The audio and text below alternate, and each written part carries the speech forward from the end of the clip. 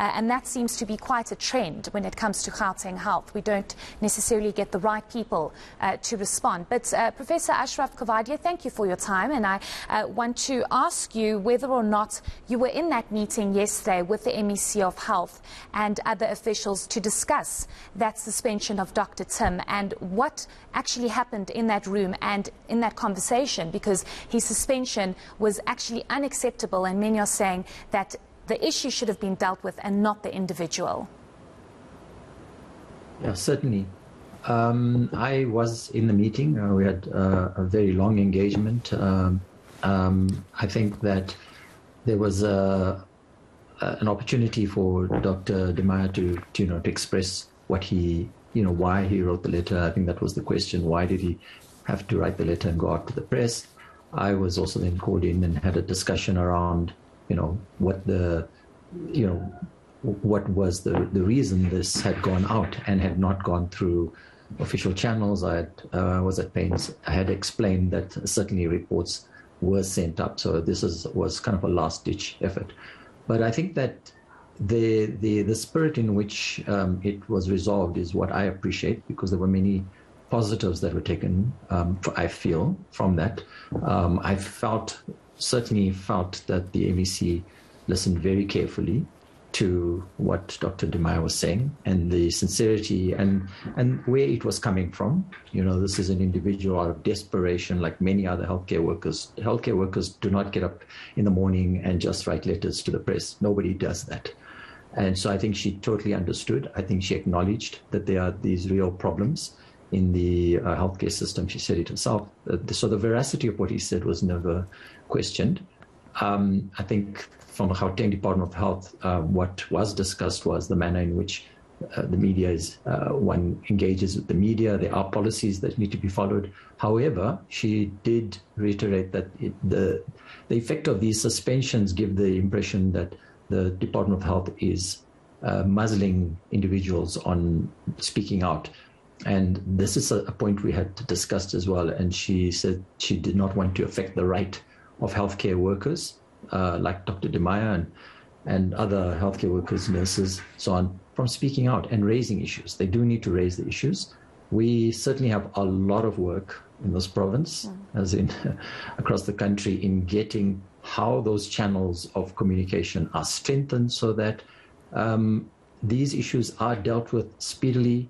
Uh, doctors and healthcare workers are listened to and don't feel as though they cannot go above their uh, management when management uh, is uh, failing in or appears to be failing in conveying the, the problems uh, at a local level. So I was encouraged by that, and I think that that in the spirit of that there was an amicable resolution in terms of moving forward.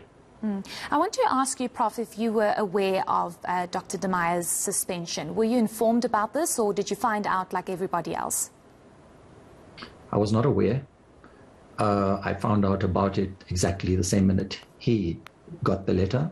I was with him when he got the letter, shocked and dismayed, because I felt it was in nobody's interest that he receives a suspension least of all in the Department of Health, which I felt such a suspension brings the department into more disrepute than than to than any you know anything else that he's purported to have done. So I was shocked, very disappointed, uh, and I'm so glad that it has been resolved as speedily as it has. Do you know who instructed for uh, Dr. De Maayer's suspension? Was it did that come from Gauteng Health?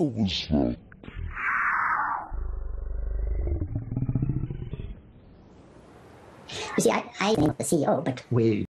It's how it comes, you know, that is beyond me. I'm not, I was not involved in terms of, and that was not discussed as to where it, uh, where it comes from. Sure, fair enough. I think uh, that question is for Gauteng Health.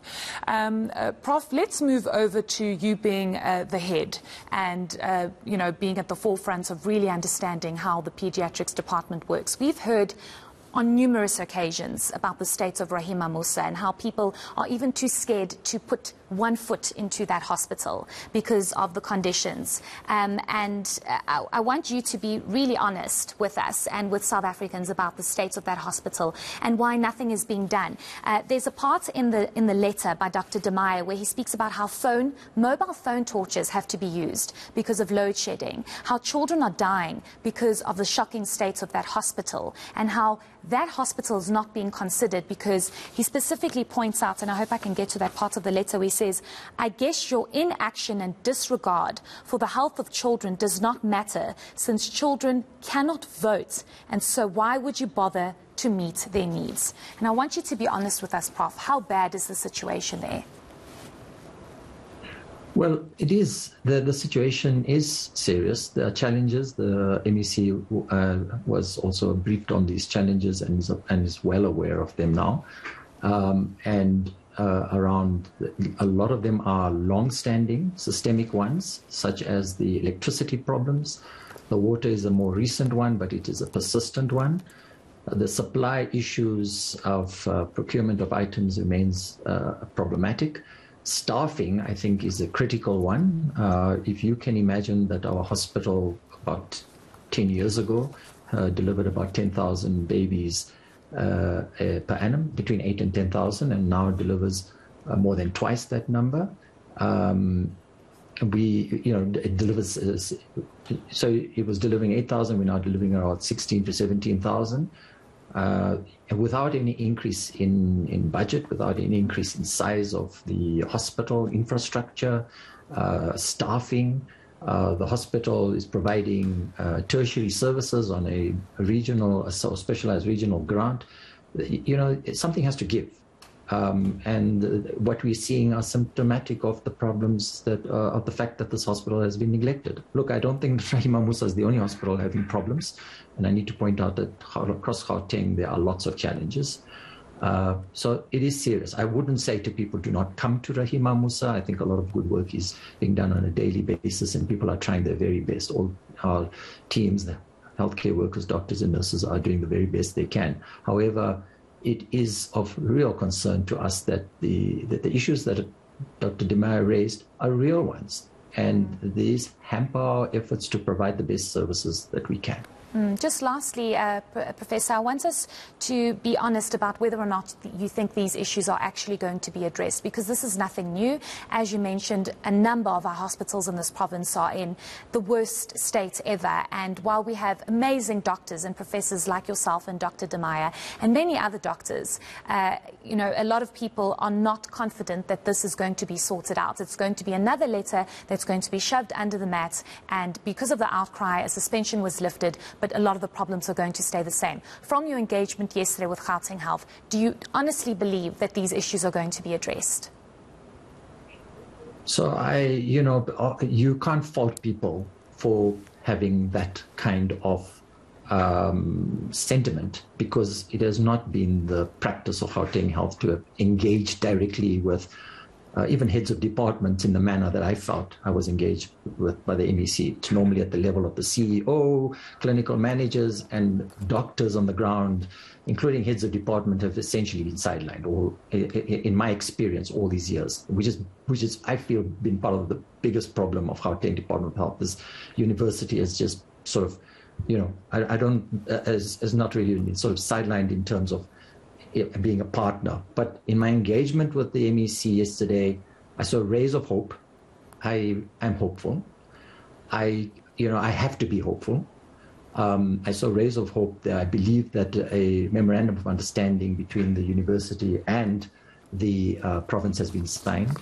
Um, you know, staff like Dr. De Maayer and doctors across all our teaching hospitals in the province are on joint staff. So they are their governance structures is not just Gauteng Health, it is also the university. And, you know, the university, university is a big partner. We can work together. If mm. I think that the memorandum is respected, I think if CEOs appreciate that, I think if we have CEOs across the board that appreciate that clinicians are there to help them make the their services run and work better, and there's no them and us. We're working together. We have to work together. I have to remain hopeful. But I do think that uh, you're quite right in asking that question because we will forget this until there's another crisis. Mm. It doesn't have to be a crisis to bring the um, seniors at Gauteng Health to talk to clinicians. I, I don't believe we require that. But this is the optics of it. When there's a crisis of Rahima Moosa, there's an MEC, there's somebody senior. When everything dies down, we, they're not seen.